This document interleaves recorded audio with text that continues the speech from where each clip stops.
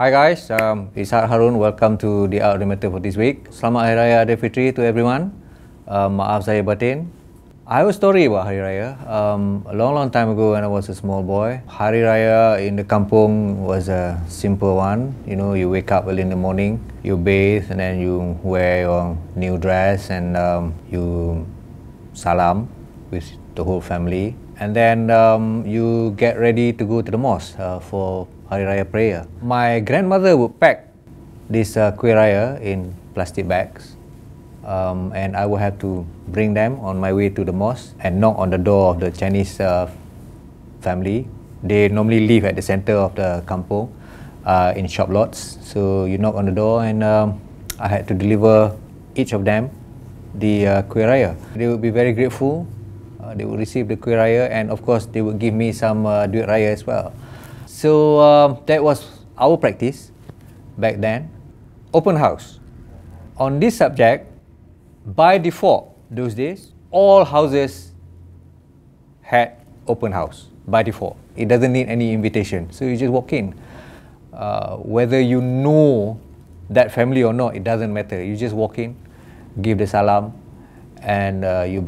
Sometimes they would invite you in um, to have kuih muih sometimes uh, they would just give you duit raya. So as kids, you know, we were more interested in duit raya than uh, walking into the house to have kuih muih. But uh, those were the spirits of Hari Raya then.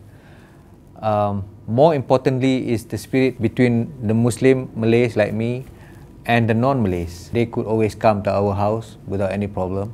Nowadays, um, I do not know whether that is still being practiced in my kampung or not.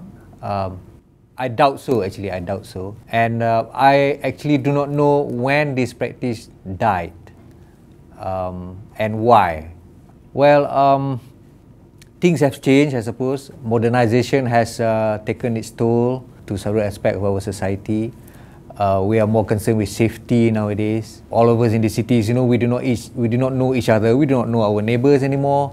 Uh, we are not familiar with our neighborhood anymore. Uh, unlike in the kampung, we know everyone, you know. Um, so because of that, I suppose has, the concept of our open house has changed. Uh, we need invitation to go to an open house. So um, progress, I suppose, and modernization, I suppose, do not necessarily mean or do not necessarily bring good things. Of course, uh, uh, we, we yearn for, for those years uh, where life was much simpler and uh, Hari Raya was celebrated uh, as one big, big family uh, by Muslim and non-Muslim.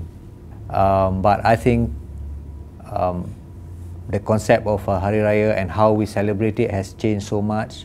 I don't think we are ever going to revert to those days anymore. Anyway, uh, Selamat Hari Raya again. That's it for this week. Maaf Zahir Batin. Thank you very much.